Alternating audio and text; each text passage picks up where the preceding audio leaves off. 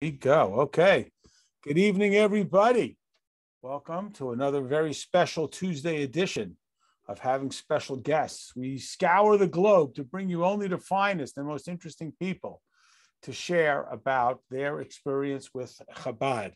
And tonight we have, as you see, a split screen, one you'll recognize, which is Rabbi Israel and his wife Shlomit Epstein who we've had on already as the shluchim at Chabad at University of South Carolina. He's also my nephew and niece, so we're honored to have them. And I reached out to them and asked them if they could bring us a highly talented, very interesting uh, participant in their Chabad house.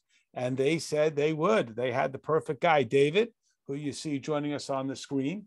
Tonight's uh, learning and discussion is dedicated to the memory of Bilha Bas of Abraham. Nira asked us to please remember. She apologizes that she can't be with us, but we're honored to have everyone with us. So, first of all, good evening, David. Thank you so much for agreeing to join us. I know you're on summer break and you got lots of other things to do, but we really appreciate you spending some time with us. So, welcome. Yeah, no problem. Thank you for having me. It's a pleasure. Yeah, thank you. So, let me give you a little background and try to describe what it is that we do. So, when COVID started, you know, two years plus ago, so of course everybody was very concerned and we were very isolated. So we came up with this idea of having a little class, just 10, 15 minutes uh, every weeknight. At that time, we were talking about how to prepare your house and for Passover because everybody was suddenly finding themselves at home. And it was such a great success and, and a lot of fun and real light that we decided let's keep doing this throughout the year. So here we are, two and a half years or whatever it is into it. And mm-hmm. almost every night we got some learning. And about a year and a half ago, we decided, and people are tired of listening to me, let's go find some interesting people to talk about their experience and their life and share who they are. And we had Rabbi Sruli on, we had his father on. I used up all my friends. I've uh, talked to everybody who I know. And we've had the, we had the shliach who had a seder in Nigeria. We had a guy who went to Ukraine this year for Pesach during the war, oh. uh, and so on. So we decided, hey, let's stop talking only to the rabbis, because you know how these rabbis are, they go on forever. Let's talk to some really interesting people who come and participate in Chabad activities. So a couple of weeks ago, we had a student who's very involved at Chabad at Kansas. Last week, we had a, a young woman who was very involved in the C-Teen program. And tonight, we're honored to have you. So a, thank you. We really appreciate it. We know it's later there and so on. But th- introduce yourself to us. Tell us who you are. What's your background? Where are you from? Where'd you grow up? You know, give us a little sense of who uh, David MorYossef is. Yeah, so I'm David MorYossef. I'm going to be a sophomore this coming year at the University of South Carolina. Go Gamecocks. Um, yeah, go Gamecocks. Mm-hmm. Um, yeah, so uh, I'm a first generation American here. My both of my parents are from Israel. Um, and I've been I've been born and raised in Myrtle Beach, South Carolina, so not too far from University of South Carolina's campus. And I am the treasurer at Chabad at University of South Carolina at the moment, so I'm oh, wow. really for that. And yeah, and I'm uh, international business major, and that's a little bit about me. Okay, so we you first show up at the university uh, last year, I guess, right? You, you were a freshman. You come to college. Uh, how did you meet uh, the Epsteins? How did you become involved with Chabad? Can you walk us through that? Was that a part of your plan when you went to university, or how, how did you first meet them? Yeah, absolutely. So since I'm from Myrtle Beach, so it's literally two and a half hours away. So I've known many of people that have gone to the University of South Carolina, and they've always talked about how even though you're away from home, you always have Chabad to go to, and it's a great time. So I was like, awesome. Like, so if I go here when I go to college, I'll have somewhere to go and uh, like to meet new Jewish people and all this stuff. So a lot of my friends like were um, like talking about it. Then I was able to be introduced to Rabbi Sruli and Shlomit on a Zoom call. We had a little pre-college meeting, and we had we talked about some things we're looking forward to the year. And then I finally got the chance to go to the first event, which was the welcome barbecue for all the freshmen and everyone that wanted to be involved. And I had a great time. Met everybody, uh, a lot of new people, and I've never looked back. Wow, fantastic! It's beautiful. So let, let me uh, give us a sense. Like, did you know anybody else who was already at the Chabad, involved with Chabad at USC before you went, or you just sort of jumped right in? So, other than uh, the few people from my hometown that um come like that have been through uh, through in and out of like Chabad at USC, I really didn't know uh, almost anybody going. So it was really like kind of like a I was kind of nervous going into it, and I was like, hopefully I meet a lot of new friends and hopefully I fit in.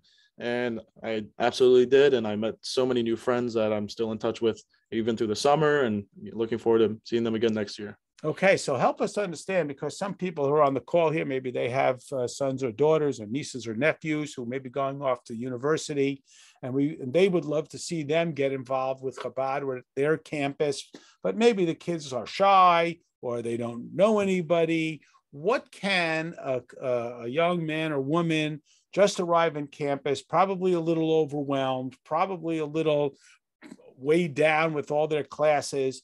and they might be a little shy. What can you sort of describe would be an experience for a freshman um, boy or girl to knock on the door of their Chabad at whatever campus they find themselves at throughout the United States? What can they kind of expect? Yeah, so from what I know from Chabad is just once you get into that door, it's literally your home away from home, and you should never feel shy or intimidated by anybody there. And everybody's welcome, no matter how religious you are or from what backgrounds you have. So I think it's a great place, you know, to go, especially if you're looking to make new friends or if you're coming far away from out of state, because you always know it's a good place to come to. And if you ever need anything, they're always there to help. Um, so I think like people that are like shy, they should definitely make the leap and try your best because everyone there is going to be a little shy. Like we have people from all the way from Arizona, we have people from uh, like New York, we have New Jersey, we got South Carolina, we got it from everywhere. So everyone's looking to meet new people and everyone's a little shy and intimidated at first, but once you make that first step, it's you just keep on going. Okay. And it's a great, great environment. So help us understand how I'm sure you're very busy. You said you're an international business major. I'm sure you got a lot of classes and a lot of work to do. How did Chabad sort of fit in? I mean, people go to college, they got to go to class, they got other social activities, sports, mm-hmm. and so on what is it like? What is your sort of during the school year? What does your involvement with Chabad look like? Is it once a week, once a day, once a month, once in a while? Give us a feel for what that looks like. Yeah, so being on the board, I try to go at least once a week or so, and it's also just great environment to be. Whether I want to go to a Shabbat dinner, or if it's a holiday that week, or we have like some type of hangout social event. Um, so I always try to go at least once a week. Um, it's a great place, you know everyone's missing home in college and sometimes you just want to let loose from all your classes and stress. And so you go there and it's really a chill environment. It's not like they're forcing you to learn torah or forcing you to sit down and study something with them. It's really chill and relaxed and everyone's having a good time. Uh, we involve learning and having fun and food. So it's always a great time and you just feel almost at home which is what i feel like everyone needs throughout their week in college so uh, i definitely especially as an honor student i always have a lot of uh, homework and stuff like that, but I always make sure to try to at least to make it to a little bit of events or even some people make it once a month or two and they still enjoy it and it gives them a lot of relief. So can you get, help us understand um, what's your relationship like with the rabbi and Shlomit? Like, what's that like at a personal level? You didn't know them, I don't think, before you came to, right. to, to, school. So, what's that been like uh, in the year the uh, to two years that you've been in uh, USC? Yeah, so I feel like I've known them now forever because it just we've gone so close over the years. You know, we've both become very close, and then also I've become close with their kids. So it really just feels like I'm they like, have pretty cute kids, don't they? They have amazing kids, yeah, all three of them. But it just feels like honestly, just feels like a family. Like you just walk in and you're like instantly adopted. Boom, like this is your new family.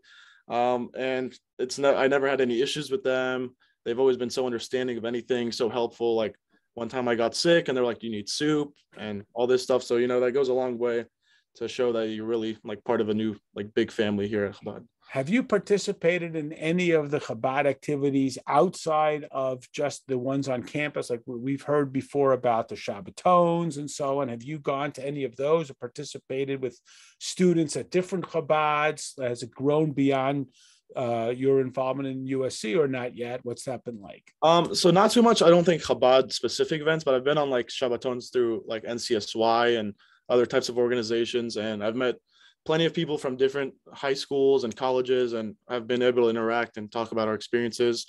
And it seems like everyone enjoys where they're at, and they always find peace at their Jewish organization, and that's just how I feel. Um, cool. And I hope to go on more and more Shabbatons and try to expand my reach in Chabad.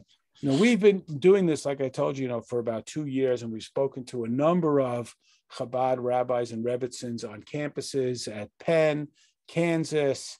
We spoke with Rabbi Yossi Gordon, who's the director of Chabad.edu. And people who are on the Zoom now are familiar with how incredibly successful, meaningful. Can you give us uh, uh, maybe I don't know that anyone knows the answer to this, but what is it about Chabad on campus that is so wonderful? I mean, they don't have only the greatest uh, facility with 14 gyms and three swimming pools. They do have the best food that we know yeah. um, because I've been there. But what is it? Maybe you can help us understand what is it that makes Chabad on campus so attractive to young students who are very busy with their classwork, have a million other social activities. They don't have their parents there. You know, everyone thinks that the parents are trying to get their kids to go to Hebrew school and go to synagogue, and they can they love it. And we've talked to so many. What is it that makes Chabad on campus so special? For me, honestly, I think it's just the comfort you feel like it, like being a part of Chabad, like whether it's uh, being a part of a class that we're learning about different things in the Torah, or whether it's like a social event. Like one time we had a midnight breakfast for finals week, which, you know, everyone during finals week is very stressed out and like packed with studying and homework. And a lot of people showed up and they, you know, you know, it's just a place to un, like, un, like unload all your stress and kind of take some stuff off your mind and putting it off to the side for a little bit. And I think it's really popular just because people when they first come to college are like, okay, well, I want to kind of meet people with the same values as me or have some similar background to me. And uh, Chabad does a great job bringing a lot of Jewish students together, no matter their background, and always giving them a comfortable, comfortable place to just interact and talk and have a good time. And as you said, eat great food. Sruli and Shlomi, you want to unmute yourself and jump in and share with us a little bit about your experience with David and maybe some a share about a student or two. What is it about them that prompts you uh, to, to know that what you're doing is, is, is so valued and cherished? Well, um, obviously, we enjoy uh, getting to spend time with all of the students that we do interact with, but David, um, in particular, makes it, um, he's uh, uh, one of the ones that really makes it a joy and a pleasure and um, really a privilege for us to be here doing what we do. Um, it's always such a joy to be around and uh, has been very uh, instrumental and uh, helpful in facilitating Chabad programs here on campus. And so uh, we're very grateful to him um, as well for being involved and being here and for everything that he has done and continues to do uh, for Chabad here at USC to yeah. his credit, he's very passionate about Judaism, about Israel, and stuff like that. And so he's always looking to do things, more things, and gets more involved, um, especially when it comes to like Israel and you know, I guess educating other other students and all that. So he really brings like an excitement, a passion to whatever you know program that we're doing. Um, the kids absolutely adore him, especially Penny. This is best. He'd go home with him any day.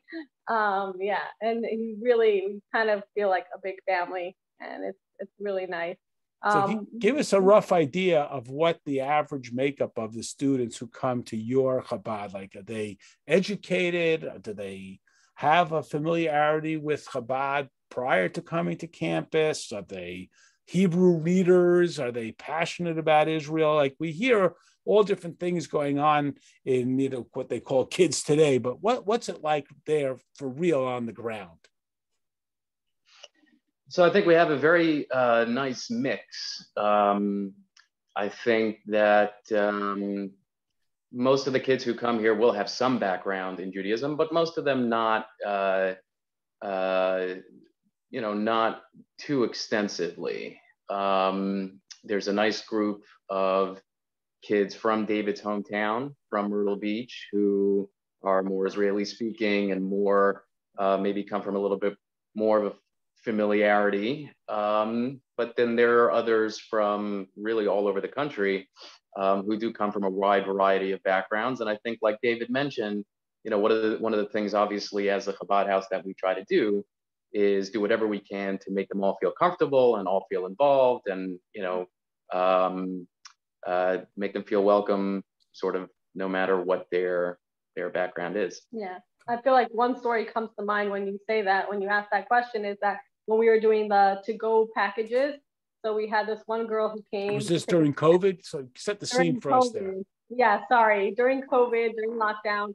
So we were doing Shabbat to go. We were doing a lot of meals to go, which was, you know, really the students really loved that. And so they were coming to pick up the packages. And on one occasion, it was a Friday, and this girl came to pick up the the package, and she said, you know, I'm not Orthodox, I'm not religious, I don't keep kosher. You know, I just want to tell you that up front. Is it okay if I could still have a package? And I'm like, absolutely. You don't have to be religious or anything to come. So I do think there is that stereotype or that notion that you do have to have some sort of background. And I think that once students kind of like uh, like David said, like take the leap and, and, and walk through the doors, it completely like melts away any kind of stereotype or anything like that. And they immediately, you know, they never stop. They keep coming again and again and prefer that over Hillel. Am I allowed to say that? Um, You're amongst friends. no, I'm saying we're friends. I'm saying that we're more like kind of authentic and traditional, and yet they choose to come to us, even though it's not, you know, only social, and they enjoy it and they feel a part of it, and they don't feel like forced or pushed or, you know, kind of yeah. yeah i mean we've heard this like i said we you know we started sort of doing interviews on this side of it we had a student a couple weeks ago uh, she's in kansas and you know also did not come from any form of a quote religious background. And that's she spoke to that as well about having a relationship with god. It was something she had never really thought about. Is there a particular class david that you go to regularly? We've heard about sinai scholars. We've heard about the parsha classes I mean, we're a bunch of old fuddy duddies here. They didn't have this when the people watching were in university, but maybe their kids will. Can you just give us maybe one little glimpse of something that you learned that was interesting to you or a class that you attend? Just give us a feel for the sort of study side of it. Absolutely. Yeah. So I did attend Sinai Scholars and I really enjoyed my time through that. And then also, uh, we like implemented this new thing at Chabad University of South Carolina, which is hot topic discussions. So we like we'll go off like like more like things that people really think about, but it's never really answered. Um, like what do we think about like hell, for example, hell, heaven, all kinds of stuff like that. And we honestly just we get a little uh, dinner going and we just go around and discuss what we think. And Rabbi Sruli will put in input and the facts and stuff, and then we'll discuss what like how we interpret that. And it really just it like blows your mind, like like all the things you've always thought about, and you're like, I'll never get the answer to this. But honestly, sometimes you can get pretty close, and it's it's a it's a great discussion always, and it's fun time. So even when you're learning, it definitely is still a social uh, environment, and you're always having a good time. Whether you're not you're not just listening to Rabbi Sruli lecture or anything. Uh, so we all put our input in. It's a very fun, entertaining class for sure. Fantastic. If anybody wants to unmute, uh, you know, we want to be respectful of David's time and the rabbi's time and not keep them, it's later there. But if anybody wants to unmute and jump in and ask a question, otherwise, we'll uh, you know we'll sort of let them go. But if anybody wants to jump in, here's yes. your chance. Hey, Rabbi, I, I, have two questions. One for David, one for Sruli. Okay. So, where's your southern accent? I, mean, I, I, don't even hear it. There we go. Uh, I guess I don't know who this is for. I guess this is for me. Uh, yeah. I guess being being raised uh, in an Israeli home, I didn't really, I was never really brought up with a southern background. Uh, and I guess a lot of the kids I hung out with as a kid were Israeli as well. So it yeah. never stuck to me, but I, I'll say y'all and stuff like that and have some a little bit. Yeah. So, That's funny. An Israeli with a Southern y'all. Uh, so, uh, you know, it, it, occurred to me, it's really, you know, in general, how do uh, University Chabad, uh, Chabad support themselves? And in particular, you know, how, how do you, you talk about Shabbos packages during COVID? Does it come fundraisers from parents or, or how do you, just in a nutshell, how do you manage that? Uh, it's a great question. Um, and, you know, just like any other Chabad organization, we're a very uh, grassroots, uh, sort of crowd funded.